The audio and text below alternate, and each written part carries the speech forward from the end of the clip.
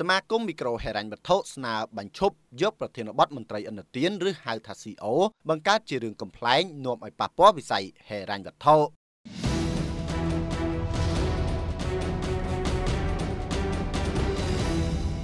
សមាគមមីក្រូហិរញ្ញវត្ថុកម្ពុជាបានស្នើដល់បណ្ដាប្រព័ន្ធផ្សព្វផ្សាយជាពិសេសបណ្ដាញទំនាក់ទំនងសង្គមបញ្ឈប់យកប្រធានបទមន្ត្រីឥណទានឬហៅថា CO ទៅបង្កើតជារឿងកំ pl ុកកំ pl ែងនាំឲ្យប៉ះពាល់ដល់វិស័យហិរញ្ញវត្ថុ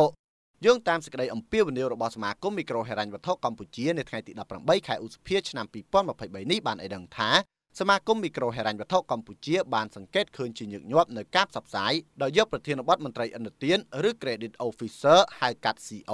និងប្រធានបទពាក់ព័ន្ធនឹងវិស័យធនាគារនិងហិរញ្ញវត្ថុធ្វើជាកម្មវត្ថុនៃវីដេអូកំ pl ុកកំ pl ែងជារូបភាពបន្ទុកបង្អាក់ប្រឆាចពីការពិតទៅតាមបណ្ដាញផ្សព្វផ្សាយមួយចំនួន ជាពិសេសបណ្ដាញទំនាក់ទំនងសង្គម ការសម្ដែងទាំងនោះត្រូវបានយកទៅកាត់តខ្លីៗនិងចែករំលែកបន្តគ្នាដែលធ្វើឲ្យមានការយល់ច្រឡំថាជារឿងពិត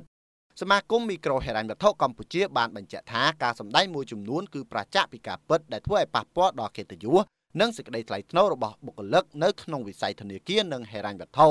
សមាគមសូមសម្ដែងនឹងការសោកស្ដាយនិងមានការព្រួយបារម្ភចំពោះការផ្សព្វផ្សាយប្រឆាចពីការពិតទាំងនោះ។ សមាគមមីក្រូហិរញ្ញវត្ថុកម្ពុជាបានគូបញ្ជាក់ថាអាស្រ័យដោយបានជម្រាបជូននេះសូមម្ចាស់បណ្ដាញសង្គមនិងអ្នកផលិតមេតិកាសង្គមមេត្តាជៀសវាងការបង្ហោះឬចែកចាយនៅការសម្ដែងឬរឿងមិនពិតដែលអាចបង្ករូបភាពអវិជ្ជមានដល់វិស័យហិរញ្ញវត្ថុសមាគមពិតជាជឿជាក់និងសង្ឃឹមយ៉ាងមុតមមថាសាធារណជននិងម្ចាស់បណ្ដាញសង្គមនឹងចូលរួមជាមួយសមាគមក្នុងការពង្រឹងវិស័យដ៏សំខាន់មួយនេះ។ សូមជម្រាបថាវិស័យធនាគារនិងហិរញ្ញវត្ថុគឺជាឆ្អឹងខ្នងនៃសេដ្ឋកិច្ចជាតិនិងជាដៃគូហិរញ្ញវត្ថុមិនអាចខ្វះបានសម្រាប់ប្រជាជនកម្ពុជា